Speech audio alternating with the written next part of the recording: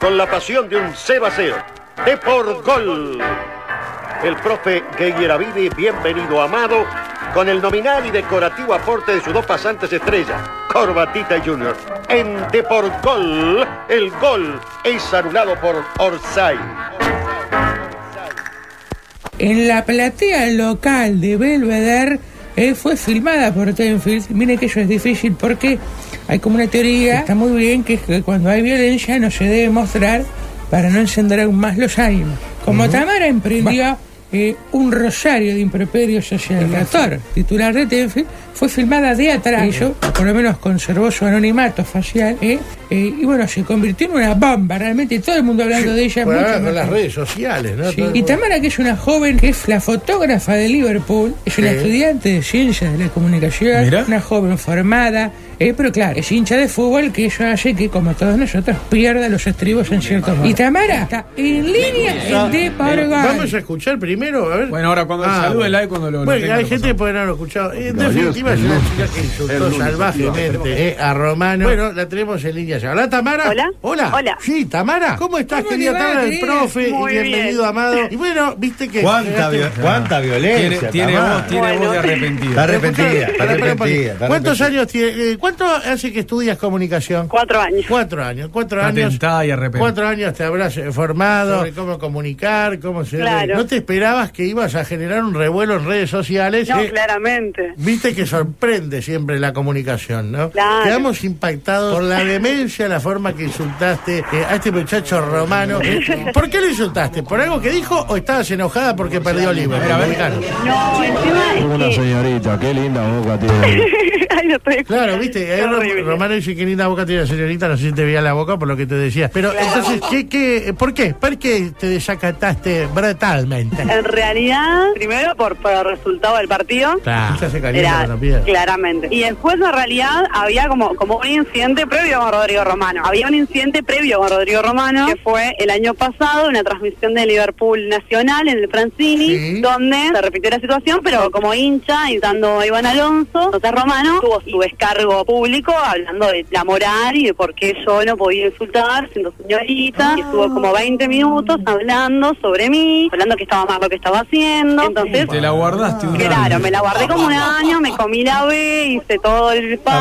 Aparte va, bajó Liverpool. Claro, me comí la B en el Un medio. descenso en el medio, claro. Y- Qué rencorosa sos igual. Se te eh. dio la oportunidad. No, pero lo tenía Quiero ahí. Si hubiese que sido en el estadio, No ¿no? lo tenía ahí. Sí, mira, yo creo que hay muchos uruguayos que, pero hay muchos que hubieran querido alguna vez insultar a Román. Pero Basta tampoco, tampoco su- yo, yo no voy a decir que estuvo bien. Pero Sí. ¿sabe lo que mucho uruguayo y se pregunta? ¿Por Mm. qué no a Celsa? ¿Por qué se salva Celsa de tus peroratas? No, pero Celsa tampoco carga se las tintas sobre un romano que, ¿eh? Pero Celsa tampoco se salva en realidad. No, ah, También no hubo para. Después hubo como, como más generalizado, más hacia el colectivo Claro. periodístico. Y pero ¿tú decidiste sentarte ahí esperando todo momento la reacción o fue porque como perdieron te acordaste y ahí te acercaste? No, claro, yo no estuve en el partido. Como, como la las cabinas en Belvedere están cerca de la salida. Claro, atrás de la Cuando- hinchada de Liverpool. Claro, cuando termina el partido, me acerco, porque tuvimos que esperar 20 minutos a que saliera la hinchada de Peñarol, me acerco a la parte de las cabinas, y claro, era obvio que alguien más iba a necesitarlo, Claro, y ahí claro. aproveché en realidad, yo no, no, no salí de la nada a, a Seguro,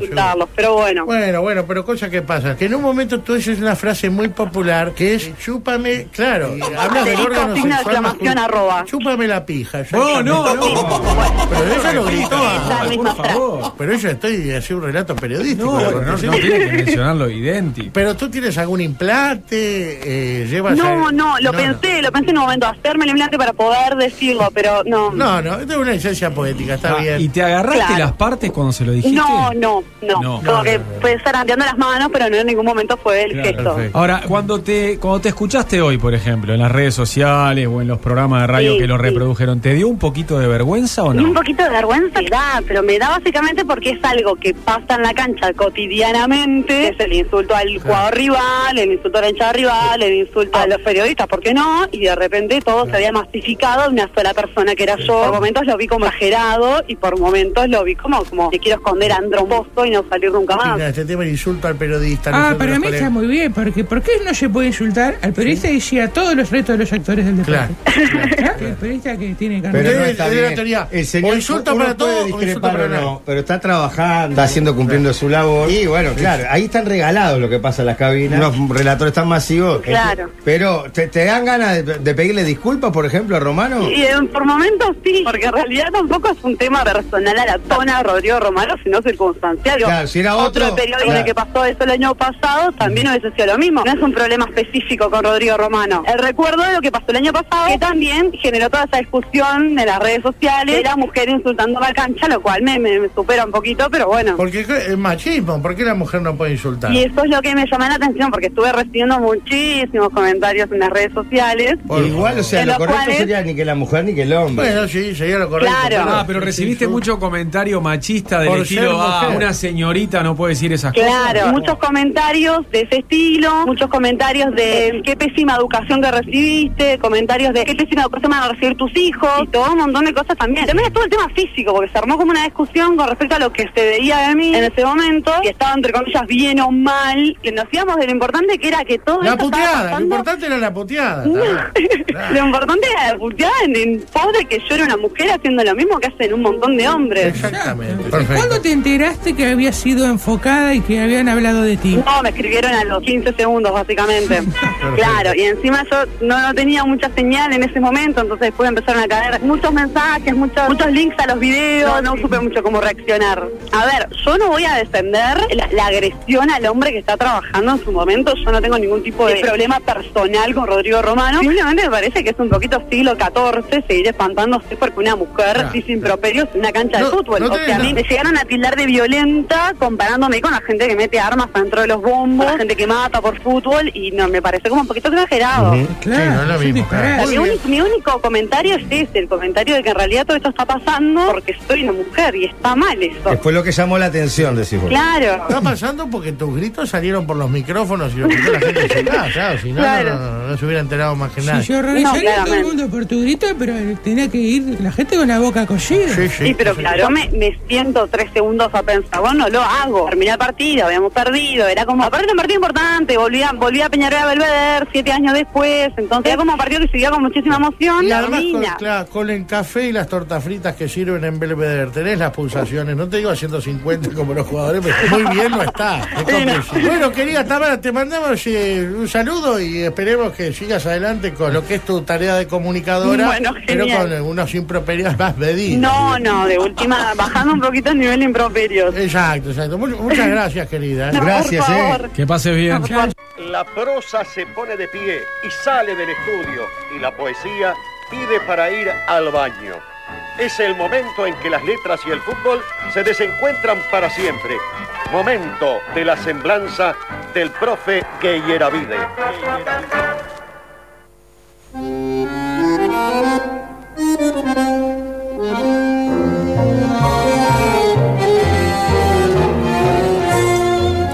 El presidente Misterio. En un club hay elecciones y gana un tapado. Señor presidente, ¿quién es usted? Podrían incluso preguntarle sus propios votantes. Y él puede tener a bien responder, yo soy el que, y ahí larga su currículum, eh, la larga actividad privada, que de chiquito ya era de Nacional, o de Peñarol, o de Defensor, o de Juventud, lo que fuera en cuestión. O limitarse a sentenciar, yo soy ese bueno o deseablemente no tan malo por conocer que ustedes han elegido como forma de votar en contra del otro candidato ya conocido. El más conocido, el actual presidente en funciones, por ejemplo.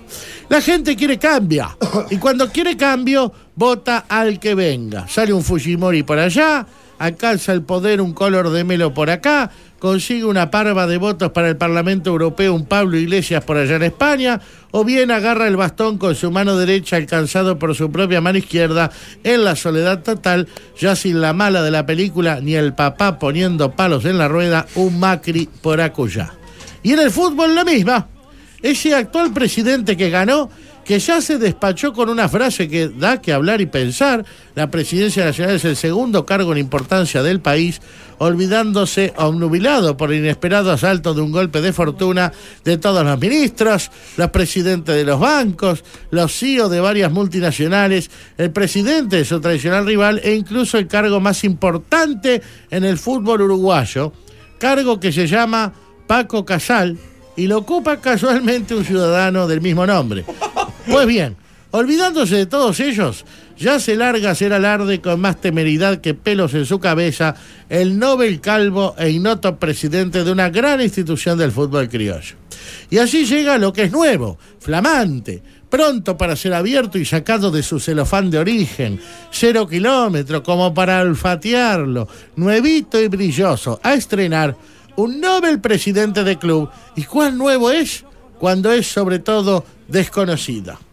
Un recién llegado siempre llega limpio, pulcro, impoluto, impecable. Siempre llega cargado de ilusiones y de esperanzas. Es la viva imagen de la renovación, ¿eh? del hombre nuevo que estaba buscando el Che Guevara en las selvas de Bolivia cuando murió baleado entre una espía rusa de las de siempre, cuatro, locos, cuatro gatos locos más con él y rodeado de indígenas bolivianos que de nuevo ni el traje militar tenían. O el superhombre que pregonó y buscó también a tientas, lleno de loca esperanza y firme convicción, un Friedrich Nietzsche ¿eh? aun cuando enloquecido en aquella cabaña de montaña en la cual quedaron tirados los papeles dispersos de su obra póstuma El Anticristo y algunas obras que supo ordenar con paciencia y celo a Modionesco, su vieja, nada nueva por cierto, hermana, para hacer algo también viejo y conocido, entregarlo a los nazis para que de esos escritos se hiciera una teoría que diera sustento a la única novedad que trajeron al mundo, matar a millones de personas con eficiencia récord de los mecanismos industriales modernos en sus pseudo baños y hornos de los campos de concentración. Así que mis queridos amigos, hinchas esperanzados de un club que decidió cambiar, sustituir lo viejo por lo nuevo, debo decirles, aunque más no sea para que a deshora alguno de ustedes no puede increparme, profe, usted no nos dio a tiempo la mala nueva, que nada nuevo hay bajo el sol, y que como en el gato pardo, a veces debe cambiarse algo para que todo siga igual. Porque hoy, aquí, entre nosotros, como dijo una vez un querido amigo, lo único nuevo que hay son mis dos medias. Que la buena nueva de su presidente nuevo traiga, además de las nuevas esperanzas, nuevas realidades. Ese es el deseo que hubiera yo querido compartirles. Pero a mi edad, y después de haber visto tantos nuevos presidentes desfilar como condenados en la tabla de los piratas que separa los deseos de sus hinchas y las realidades de su economía y sus planteles, solo me resta zambullirme en este mar de escepticismo llamado Uruguay, gritar socorro y hundirme de aquí hasta la próxima semblanza. Muy bien. Ya, muy bien. Repaso. Segunda pelota.